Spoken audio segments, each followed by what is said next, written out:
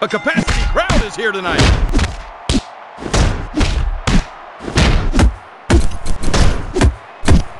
Just how much pain can someone withstand? Howling Spear! Oh, he's taking him downtown! He is not going anywhere!